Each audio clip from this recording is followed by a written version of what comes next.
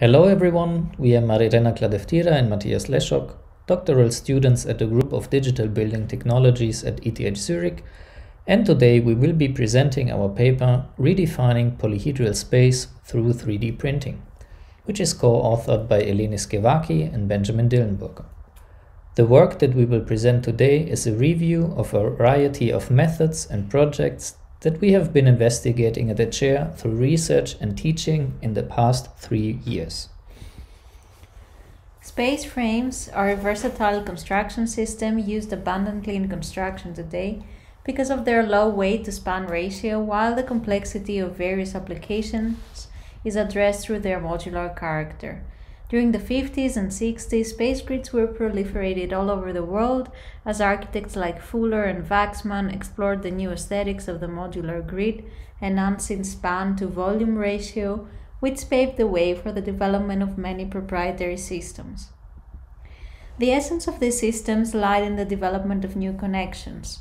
All the complexity of planning and assembly of the structures is encapsulated in the note that speaks about the modularity and repeatability of the system. Systems like the Mero node or the USM furniture are used until today, while almost a century later little innovation has happened. Despite the existence of many proprietary solutions, the need for custom connection has not eclipsed. However, the fabrication of one-of-a-kind parts often becomes complicated and expensive.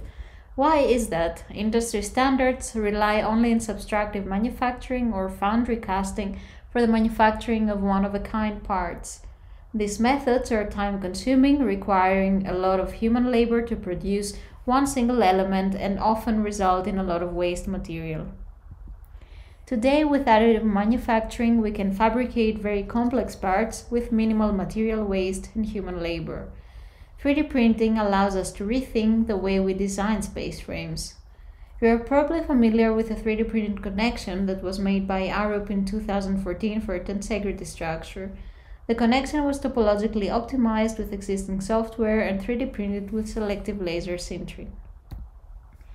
Other examples of 3D printed connections since then include the multi-thread project from Cram and Weishar.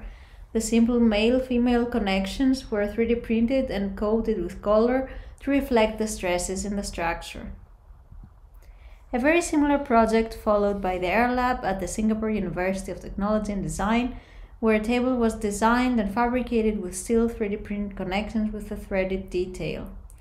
However, there is a lot of unexplored territory on the bidirectional relationship of spatial structures.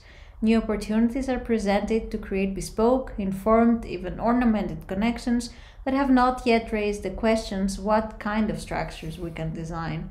What we seek to present here today is a plethora of systems, new methods for designing for additive manufacturing in order to achieve new types of structures. A series of studies on computational design processes are examined in this chapter to demonstrate the possibilities of design from a seamless, stiff connection to a dissolved spatial network structure. We talked about the digital design tools that allows us to create complex forms. In the recent past, we learned to design with boundary representation of objects. We rely on vertices that define edges and surfaces in three-dimensional space to describe a solid volume. The combination of such shapes typically happens with Boolean operations. The bigger the number and the more complex the shapes, the more difficult it is to perform those operations successfully and without errors. So what if there was a different way to design these elements? What if three-dimensional space was a field of values that represent the results of certain real functions? Here we can see a 2D section of two spheres whose equation is well known and the field of values that is generated. You can see that the boundaries are where the values are zero. Negative values indicate the inside of the object, while positive ones the outside. And so the problem of combining shapes now translates to the manipulation of a value field. Designing with distance functions or volumetric modeling allows for a smooth process where blending of shapes, connection details, assembly data, and tags can be embedded into one single object without the cumbersome effort of managing Boolean operations in robust software. Thanks to our colleague Matthias Bernhard, we used Axolotl, a Grasshopper plugin he developed, to design a simple joint that incorporates all the necessary functions for assembly while maintaining the smallest volume possible. An initial network of curves is connecting all the elements which meet at the node. Along this network, we compute the distance function for the circular sections, blend them and incrementally add or subtract the additional details for assembly. Those can be additional parts that facilitate the assembly of triangulated modules, as you can see on the screen. A slit part connection that allows the insertion of members from the side, or mechanical details such as a thread in which a steel rope can be fastened to. Using this streamlined process, you only encode once all the necessary details in the design process. In this way, we minimize the post-processing of geometries or error handling and directly create fabrication data in a precise manner. These nodes were developed for a prototypical column-like structure that due to some delays related to the pandemic will be assembled this spring. So far, we have believed 3D printing to be the means by which we can reduce material or add information to our connections. But what if we were to question the very form of those connections?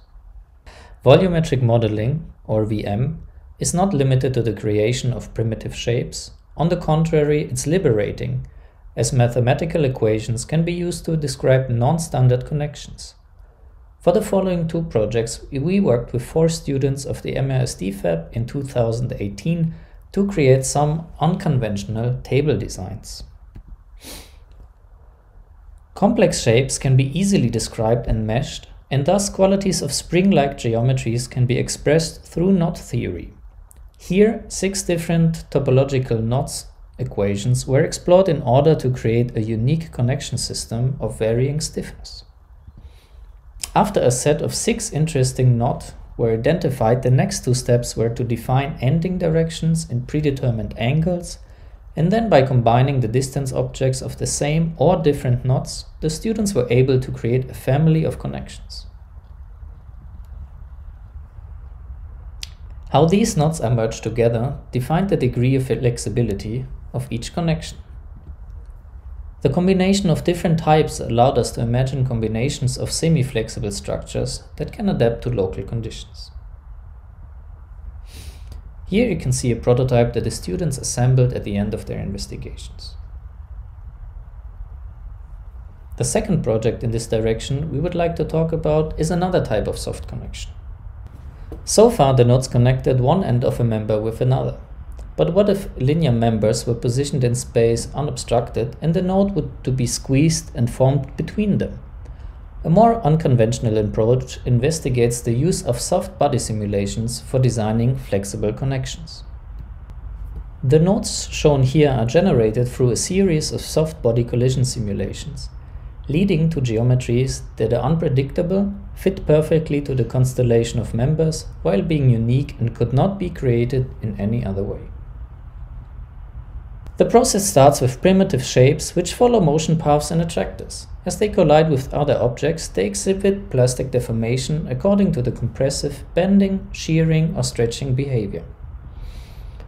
Two distinct cases are studied. The first one consists of primitive shapes that are initially outside of the constellation of bundled elements. Attraction forces pull those primitives towards the bundling point, deforming those shapes onto the bundled elements. The result is an organic connection where all the deformed pieces click together. The second case consists of one sphere situated between the elements.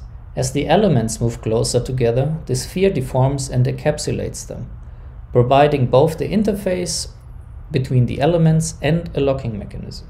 As the structure is assembled and loaded, the pressure in the joint squeezes the members, locking them in place. These are some of the prototypes with 3D printed nodes that were formed through this process. And here the final table that was printed and assembled with one single connection where all three members snap in. Now we want to sift the topic in some more controlled topologies of connections.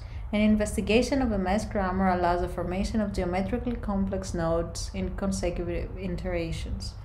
Considering the static principle of the structure, we design we can inscribe stiffer areas by adding material only where needed through the construction of the initial geometry. Trigonometric rules define the minimum bonding volume of the node according to the collision of profiles that come together to the node points n. The linear members are moved back to a new set of endpoints, for which a convex hull is defined. The edges of a convex hull are used to further define the main ribs of the node by creating the faces between n and the three adjacent edges that form a closed boundary. The faces are offsetted according to the profile width of the linear elements. Then they are split and perforated according to custom subdivision rules. These faces represent the stiffening ribs that are visible later in the node. We compute the faces around the profile of the linear members to the core n of the node so that they are adjacent to the stiffening ribs. This will later create the host profile that matches the diameter of the linear members. In a second step, we generate all the faces that necessary to form a closed volume so that we obtain one solid geometry. And finally, with known smoothing subdivision methods, we obtain the final organic porous geometry. The specific sequence was used to ensure that perforation and reduction of material are in plane with the axial flow and thus the rib orientation is able to fully support the connection. The resulting object showcases a unique topology where structural qualities such as stiffening ribs are embedded in the generative process. The last and most abstract joint definition was developed in a collaborative project at the MAS DFAB at ETH Zurich, led by Mania Meibodi. We are all familiar with the problem of assembling a triangle when we have a male-female connection types. In order to avoid this problem, we develop a system where the connection becomes the digital matter that encompasses the members of the structure, which will not meet in one point anymore. We define an algorithmic process where each connection is dissolved into a micronetwork of elements within the overall structure. First, we identify all the elements that are close given a certain tolerance to the node center. As the proximity members are identified, a new point for each member is defined along its axis. In the next step, a network is generated between the set of points following stiffening and stability criteria. Each point has at least three neighbors in the network, but no more than five. Around the point itself, a cylindrical geometry is designed to host a linear member. The edges of the network, as well as the nodes, are used to generate the distant field values from which a triangulated mesh is generated using the Marching Cubes algorithm. The result is an interwoven connection around the area point n. This process allows the more abstract definition of a connection element. The same process can create a larger element that connects a plethora of roads, which one could say becomes the structure itself. This is the case of an element you see in the picture where one connection element of a structure is designed to balance between joint and sculpture, bringing together dozens of different aluminum rods. The design strategies shown in this paper can be understood as a canvas for design explorations for future prefabricated special structures. The different node typologies presented today are designed with a specific additive manufacturing method and material in mind, as all of them are too complex to be manufactured using traditional fabrication techniques. The geometrical freedom to create unique connections will ultimately lead to a more versatile approach for space frame design. Nonetheless, being able to create nearly anything computationally and physically raises a question on how we must design for these new fabrication methods. Finally, all methods presented were tailored to small projects that gave content to the design and drove decision on geometrical articulation. Every method shows advantages on different aspects. Volumetric modeling offers an unmatched advantage on preparation of files for 3D printing. Physical simulations provides a tool to create unexpected forms, but also a new approach where all elements is in a structure organically interlock. Mesh grammars create rule-based processes informed by structural performance and fabrication limitations. And finally, in disjoint structures, new rule-based approaches can provide new and filigree connections driven by the ease of assembly. Finally, we would like to acknowledge the work that was conducted in collaboration with students of the MAS DFAB, Eleni Skevaki, Wenkan Yang, Antonio Barney, and Raul Kiris. The dissolved network join was developed with Otto Riskitas for the liquid metal pavilion, led by Mania Meibodi and Benjamin Dillenburger. The authors would finally like to thank Matthias Bernhard and his Axolotl plugin for his support and guidance, especially in volumetric modeling. Thank you very much.